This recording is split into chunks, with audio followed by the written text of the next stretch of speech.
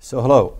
Today I'd like to discuss multi-stage amplifiers. So this is a stage of amplification. This is another stage of amplification. so with amplifiers, getting one stage to give you the proper gain, signal gain from a small signal to a large signal, and with all the fidelity, and uh, make it a true uh, amplified signal, and also match input impedances and output impedances. It's a little difficult to do that with one stage.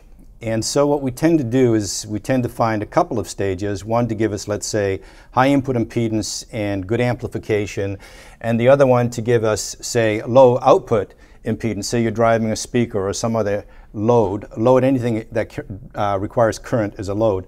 So we tend to have uh, multiple stages in order to achieve that.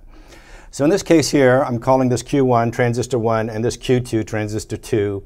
They are in the common emitter configuration where the signal is taken off the collector. And so we'll come in here on the base of Q1, we'll come out on the collector of Q1 into the base of Q2 and out of the collector on Q2. This coupling that you see right here is known as direct coupled. There is another coupling where we can put a capacitor in between, which we'll show later, and a few bias resistors. The advantage of direct coupling, nothing is free, so you have an advantage and a disadvantage. The advantage is without capacitor and resistor networks, we have less filtering of the signal from a frequency perspective.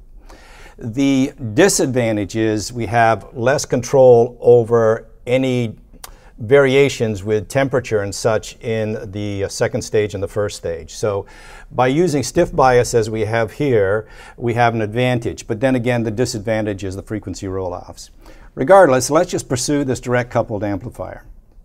So the first thing we do is what is the voltage at the base? And if we recall from our voltage divider video, it's going to be 22K divided by 22K plus 100K times the voltage over here. So if you do that particular math, simple calculator, you should come up with 2.16 volts, okay?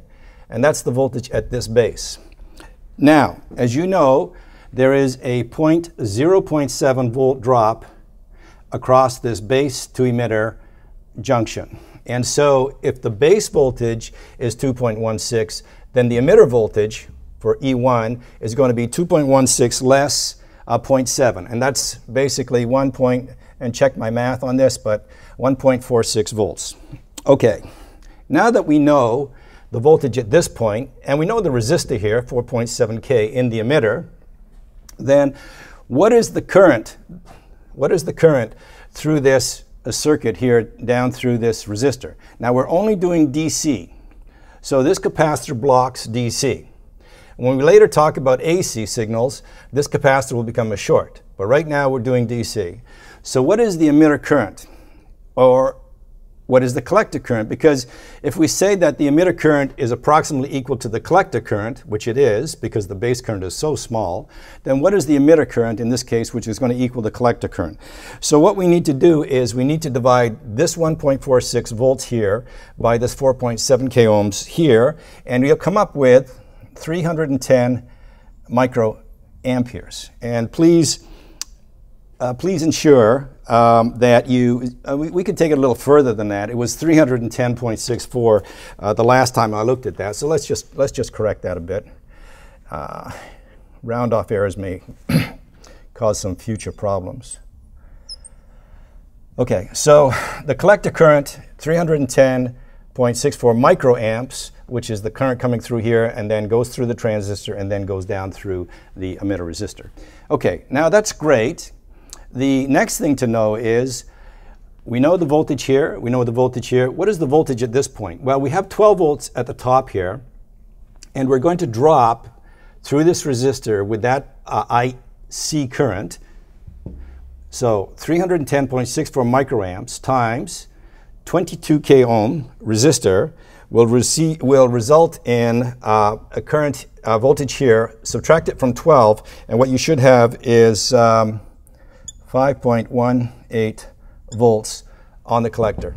Okay, so if you have 5.81 volts on the collector and it is a direct coupled amplifier, then the voltage on the base of transistor number two is going to be 5.18 volts. Easy breezy. Now, we go through the same process. We need to subtract 0.7 volts there. So let's see if my math is still good. I think it's uh, 4.48 volts. That makes sense to you. And then if we have 4.48 volts here and we have a 10K resistor, so then 10K into that should be 448 microamps again. And if that is the case, 448 microamps through this resistor, so 12 volts minus ICRC2 will give me uh, 12 minus 4.48, which will be uh, 7 point, approximately 7.53 volts. Okay, so we've set up, from a DC perspective, we've set up our two stages. Now, we're going to get into the AC part in a second, but before we do that, let's just finalize the calculation for the emitter resistor.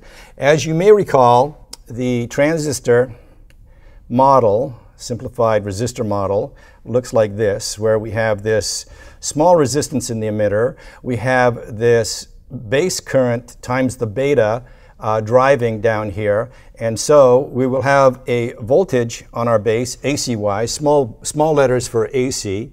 So we need to understand this emitter resistor. The formula we have, and it's temperature dependent, that's where we get the 25 millivolts from, is uh, 25 millivolts over the DC current, which happens to be equal to, in this case here, the collector current. So that would be 25 over 310.64 um, microamps. And so doing the math is uh, let's see if I can do that in my head.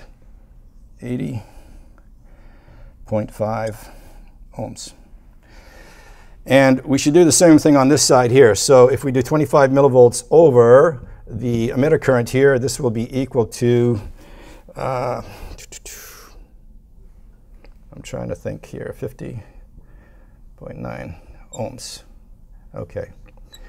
So we're going to come back now that we've set up our DC, that's fine. We're going to set up our AC values because what are we trying to figure out with AC?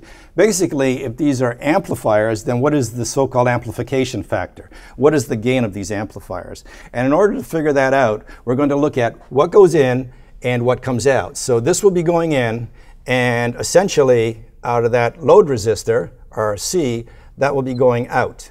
And so we'll measure the voltage out, or at least calculated the voltage out over the voltage in. And we'll see that uh, we have a formula for that, and I'll show that for you in, in, in a minute, that uh, that will give us the gain for this amplifier stage, same thing for that stage.